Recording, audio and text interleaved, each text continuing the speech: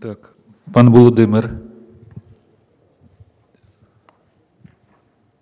Махніть, будь ласка. Ага. Перепрошую, я, я вам пообіцяв, тому я. Дякую.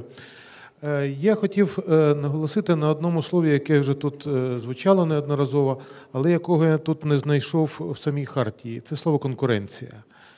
Звичайно, вільна економіка, вільна людина це є запорука конкуренції, але це не- необхідна умова, але недостатня. І так само можна сказати, що конкуренція є необхідною умовою для свободи, тому що, скажімо, свобода споживача вибрати той товар, який він хоче, чи свобода працівника вибрати е, ту фірму, на якій він хоче працювати, це, до речі, е, щодо справедливих зарплат, най- знайти собі такого роботодавця, який заплатить е, таку ціну, яку я сам хочу за свою працю. Це є питання конкуренції. І з іншого боку, якщо говорити про політичну площину, то в політичній площині теж ми зараз потерпаємо від відсутності саме конкуренції. В нас є свобода голосувати, але немає достатньої конкуренції, немає достатнього вибору між тими політичними силами, за яких ми хотіли б голосувати.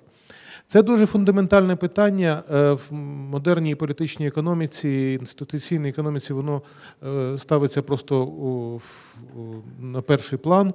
Бо е, той лад, до якого ми прагнемо, той лад, який називають суспільство з відкритим доступом, це єдиний лад суспільний, при якому можна реалізувати свою персональну свободу, при якому можна бути моральним і водночас багатим, при якому можна вимагати чогось від влади, і він базований на конкуренції.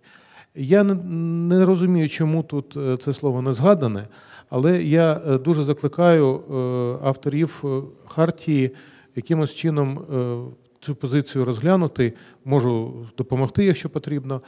І наполягаю на тому, що свободи не може бути без конкуренції. Дякую. Дякую.